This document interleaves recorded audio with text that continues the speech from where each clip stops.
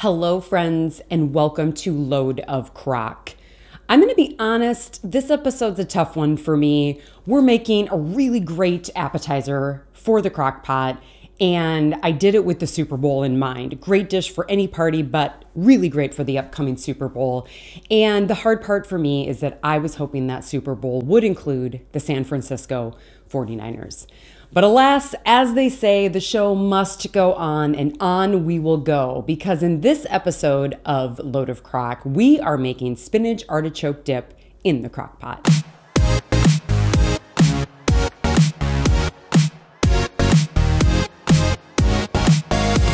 Okay, friends. I promise I won't use this episode to share my woes about the championship game, but I will use it to talk about this lovely spinach artichoke dip. Not only is it easy and taste amazing, but there are some crazy fun things you can do with the leftovers. It makes a really good batch of dip. If you're hosting a lot of people, maybe there won't be, but if there are, I've got some fun things for you to consider doing with it, which we'll talk about after this. I'm gonna have you watch me put this together. There are two steps that are involved, but still super simple. And the best part is, after you get the second step done, you can set it aside and just forget about it. Kind of like how I wish I could forget about that NFC championship game. Ingredients for this dip include cream cheese, artichoke hearts, green chilies, mayonnaise, sour cream, shredded parm, spinach, and shredded mozzarella.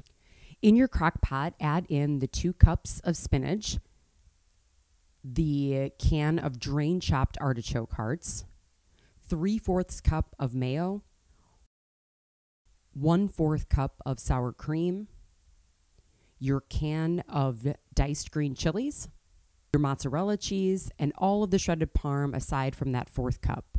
Give it all a really good mix, and then add your cubed cream cheese on top. Place this on high for one hour, and then when it is getting a little bubbly and brown around the edges, add some salt and pepper. At this point, the cream cheese will be softened.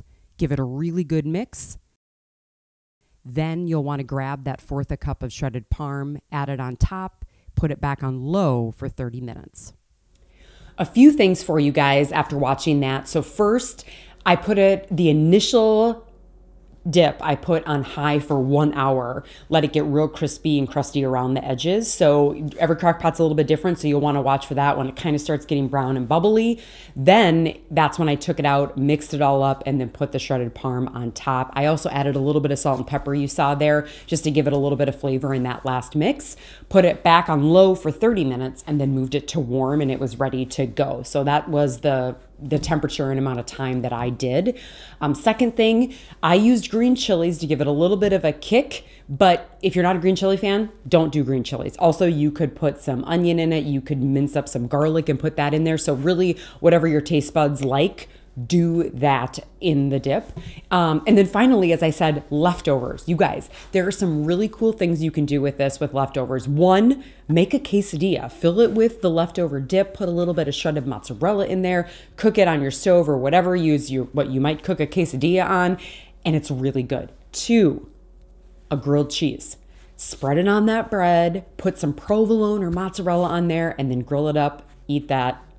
And three, pasta spaghetti, penne, whatever your noodle of choice is, mix in the, the spinach artichoke dip, maybe add a little bit of extra cream of choice just to kind of loosen it up a little bit. Great with pasta. So, some serious fun leftovers you can do with this. So it's a really good one that if you want to make a double batch or anything like that. You also, I read, I cannot confirm myself, but I researched and I've read that up to two months it can freeze. So if you make a huge batch and know you're going to have another gathering in two months or less, freeze it, get it back out, thaw it out, throw it in the crock pot, use it again. Oh, I love it. I love it so much. So while it's been hard not having the 49ers in the Super Bowl, making this dip and eating it was super easy. And you know what else is super easy? Loving this load of crock community. You guys, thank you for everything. I want you to know how much I've appreciated all of you. In January, we hit our four year load of crock anniversary of when we first went live with our some of our first recipes.